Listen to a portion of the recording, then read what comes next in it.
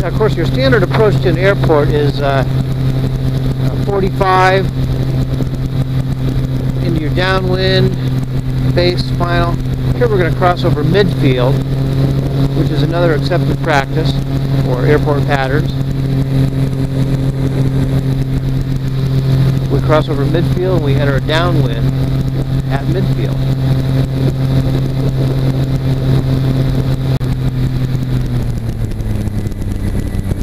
Crossing traffic, light sport trike crossing over midfield and entering midfield downwind, left traffic, runway 27. Carson, touch and go.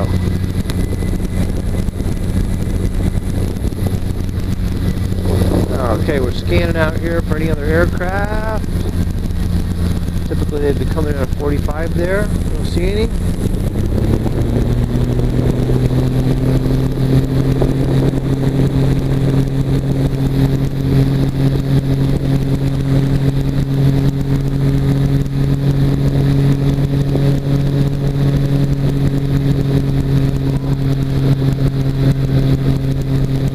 Okay, so the first thing we're going to do is a steep approach. This is where we come in high.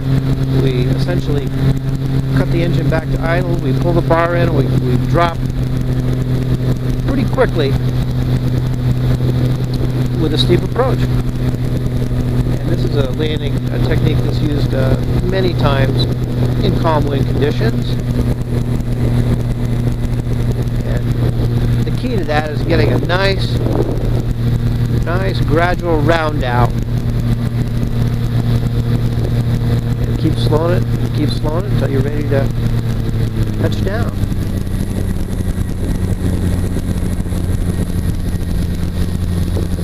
And we're looking out for any other traffic out here.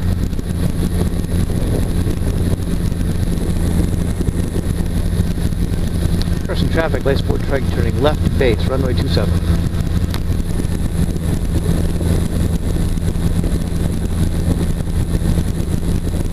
see airport vehicle down there. We'll fly over the top of him.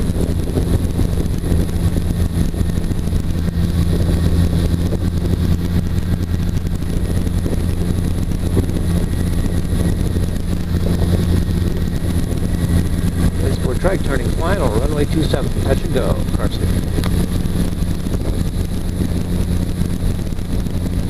Okay, you can see how we're way up here now. Okay, so we're going to go ahead and pull that bar in. This thing out of the sky here pretty good.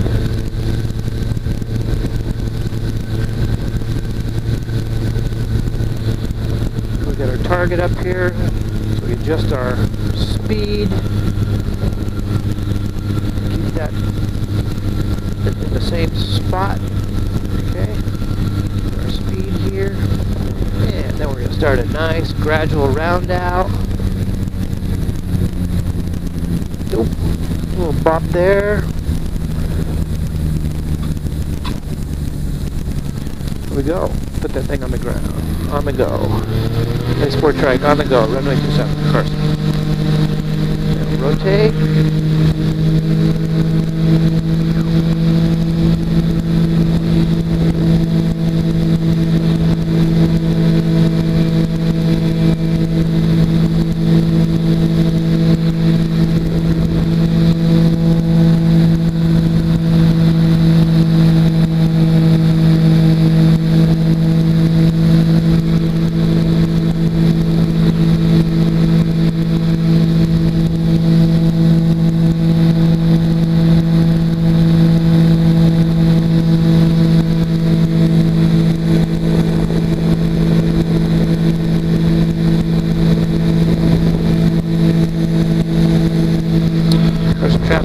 Trike turning left, crosswind, closed pattern, Carson.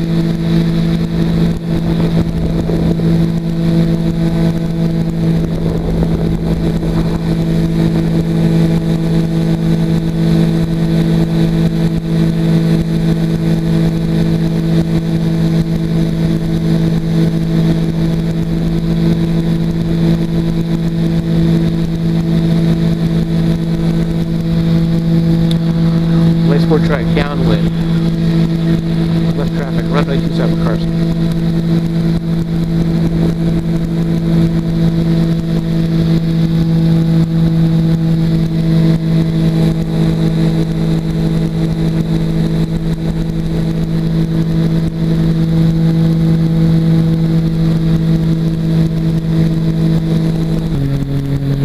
come in with plenty of speed and plenty of throttle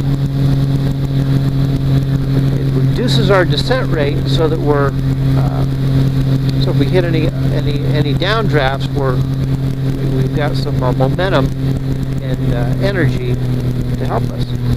Part of the energy management.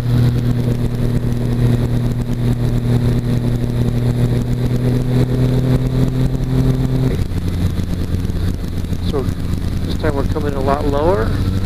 We're going to come in with some throttle here, so we've got all kinds of speed.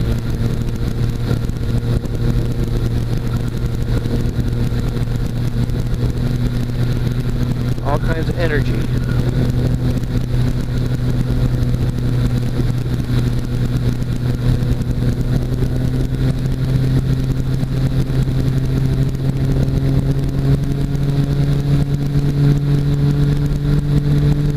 Okay, we're assuming it's really bumpy and nasty, and that's why we're using this approach. Bringing it in. Okay, we're all lined up real nice here, so we're going to let off on the throttle. And essentially get that thing on the ground, higher speed, pull that bar in to keep us from popping out, popping off.